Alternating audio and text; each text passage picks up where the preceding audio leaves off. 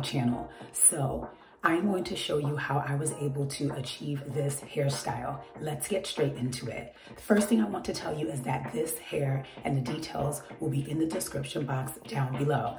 The other thing I wanted to tell you is that this is what I used throughout my hair as I was twisting it. That's what I used. And I also used rubber bands. Okay, so let me show you what I did. First, I've already parted my hair, as you can see, okay? Then I'm just going to take this hair and move it away. What I am going to do is I'm going to show you how to do this and I am going to show this to you twice so that you can pick up on the technique, okay? So I'm moving this away. This is going to be the first part. let's see, tuck this under here, good. So you'll see that I have a section of hair. I am going to go ahead and put some Shine and Jam.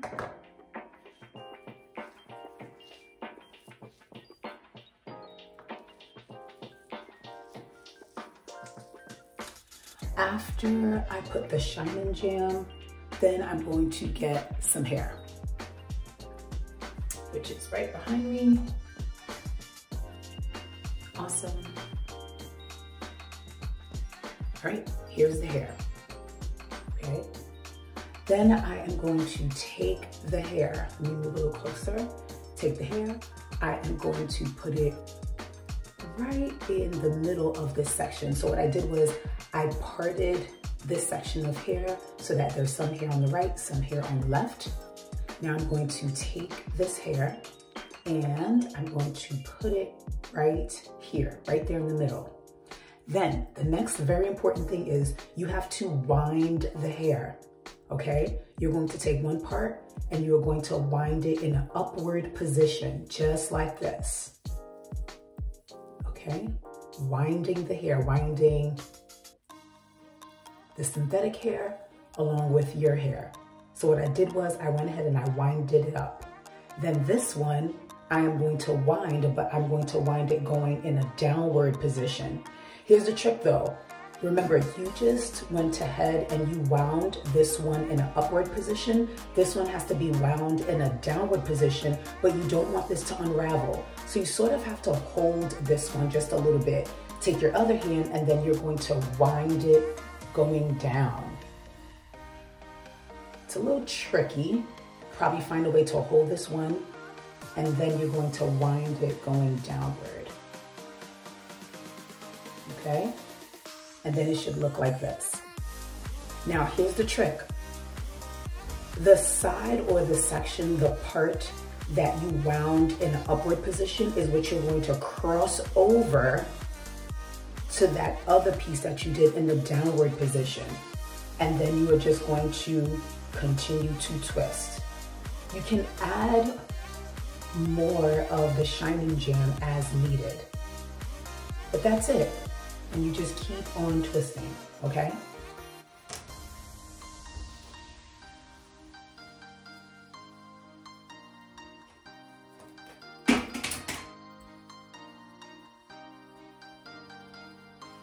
Again, so here is my section of hair. I am going to get some Shine and Jam. Putting it throughout this section of hair. Then, if you like, so that you know that you have a right and a left side, you can go ahead and split this into two. One on the right, one on the left, okay? Then get your hair.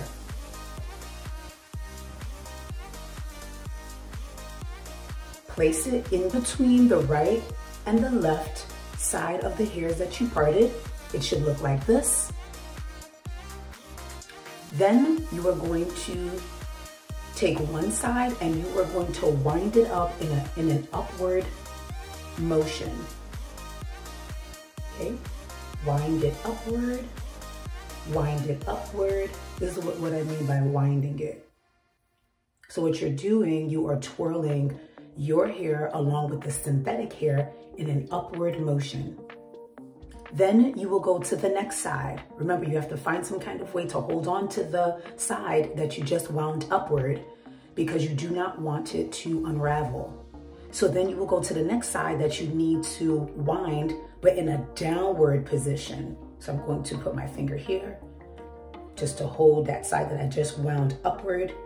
And then I am going to wind this one, wind this one in a downward motion. Now I have two sides. One of them is wound in an upward motion, in an upward motion, and then this one is in a downward motion. I am now going to take the side that I wound up in an upward motion and I'm going to cross it over to the one in a downward motion and begin to twist.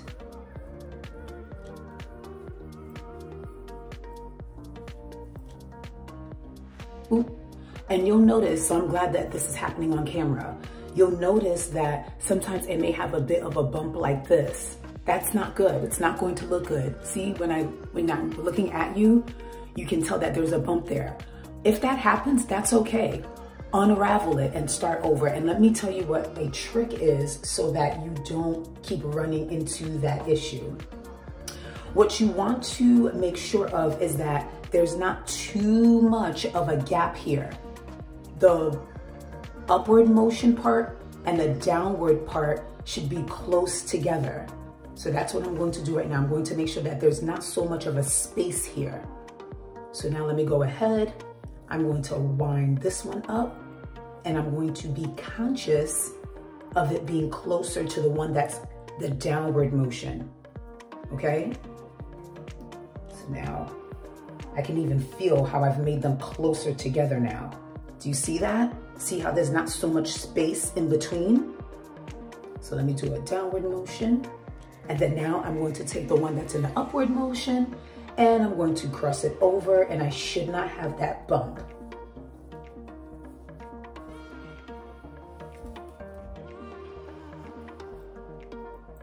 Okay, let me keep going so you can see it.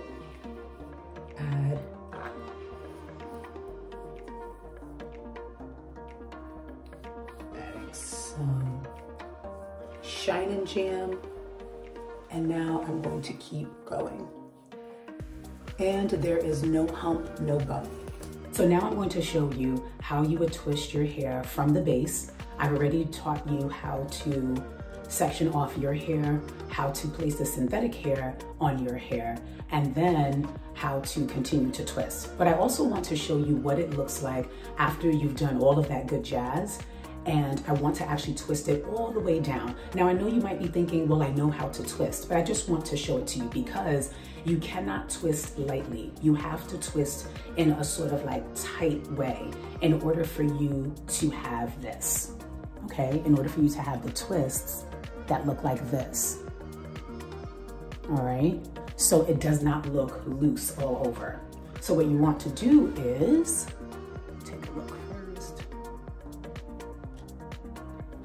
So we've already done the top. I decided to sit down for this so you can really see it and I'll twist all the way to the bottom so that you can see how to even place the rubber band, okay? So if you need to add more product, then you go ahead and do so with the Shine and Jam. And then what you want to do is just twist, but you are twisting tightly. You see that? What I do so that I can ensure that it is done tightly I use my pointer finger in between uh, taking the one strand and then the other strand and crossing them over. So what I do is I twist it like this. So I put, I take that pointer finger, I put it right here um, in between the first and second strand, and then I use that as a way to gauge, or as a placement, I should say, not a gauge, but a placement of where my next twist should go. So this is the way that I twist. Put the pointer finger there, and I keep going okay? Point a finger there and I keep going, just like that, all right?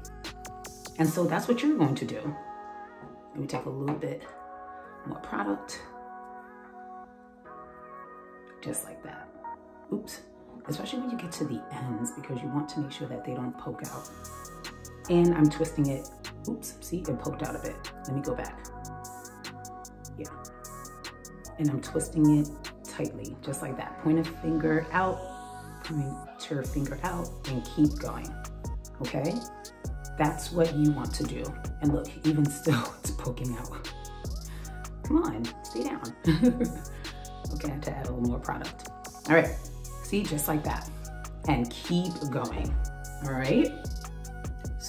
Let me keep going for you on camera so that you can see what the end result looks like. So I'll just keep going. See how I keep sticking that pointer finger right in the middle? And when you go fast, and you will go fast, you won't even have to think about it. You won't have to think about, oh, did I stick my pointer finger in between the strands? It'll just, it'll be natural for you after a while. If you're new to this and you're just trying this out, good for you, okay? Good for you, I love that. Love that you're trying something new. And trying to do it on your own, right? You never know until you try.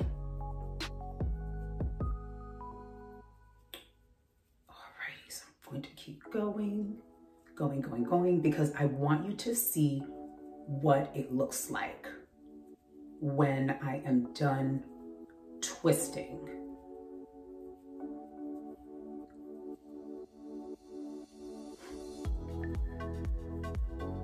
Especially what it looks like when I'm done twisting tightly, okay?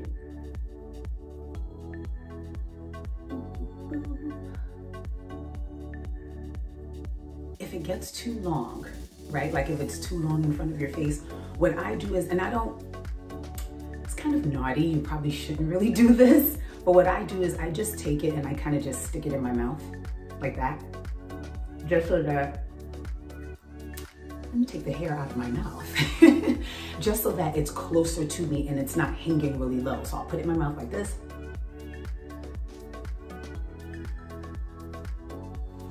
Okay.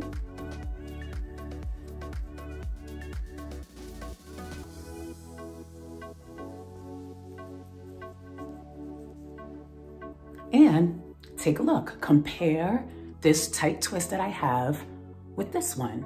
See how this one is a bit looser? This is going to be the end result, this one. But this is the way that it looks before you kind of let it go. So let me show you. See what it looks like now? All right. Now I'm kind of letting it go because see how it twisted here a bit? That's not what you want, right? So I'm kind of letting it go a little bit from the bottom. See that? kind of letting it go, letting it go a bit. And what might happen is that it might unravel a bit at the bottom. That's okay. What you want is for it to be nice and straight from the root all the way down to the bottom. Okay. And then you get this. All right, so it's not so tight and now it actually looks like a staircase as opposed to before it didn't look so much like that. After a while, because this is a new twist, after a while it's going to probably loosen up a bit and it'll look more like this. But for now, this is the way you want it to look. So take a look, all right?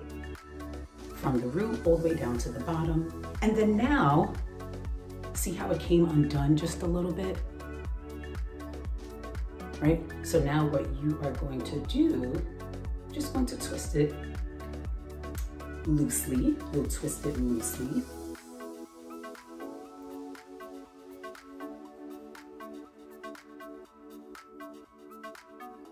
The reason I was saying um, earlier that it's kind of naughty to put this in your mouth is because you don't know where this hair has come from, right? Like you don't know where it's been.